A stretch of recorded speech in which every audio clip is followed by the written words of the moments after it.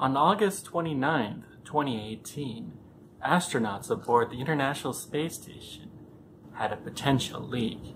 Now, at first, mission controllers on the ground noticed this, and the astronauts were asleep.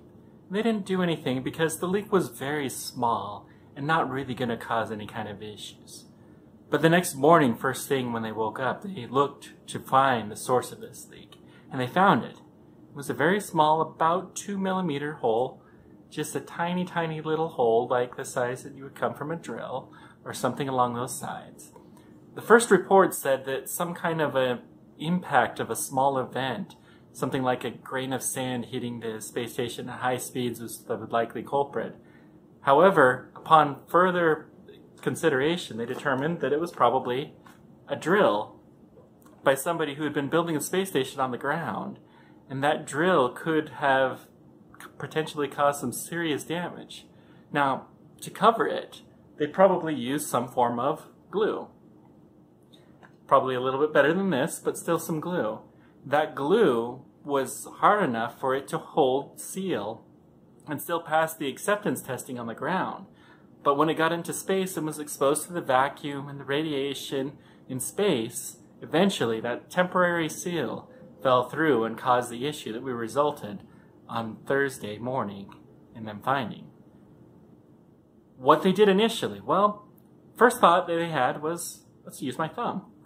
So astronaut Alex Gerst was perhaps the first person in the history of spaceflight to touch vacuum with his bare skin and live to tell the tale.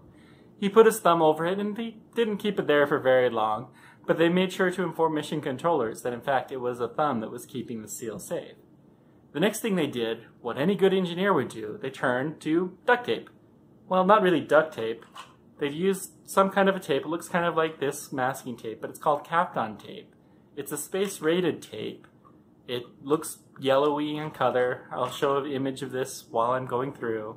And that Kapton tape was able to hold a seal, but it wasn't good enough.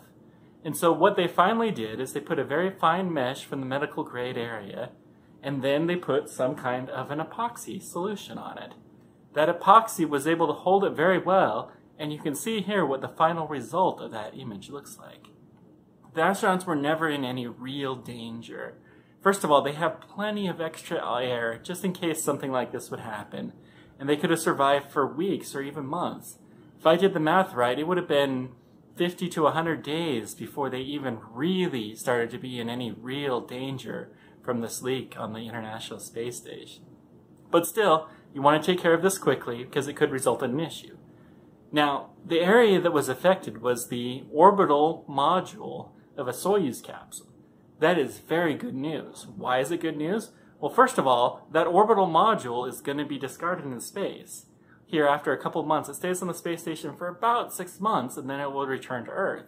Secondly, the astronauts will not actually be in that part of the module when it's landing on the ground. They'll be in the Soyuz capsule. And thus, nothing that was absolutely critical or going to be on the space station for a long period of time was actually in any danger. Let me know whatever questions or comments you guys have about this or any other topics space exploration related. And until next time, keep on tracking.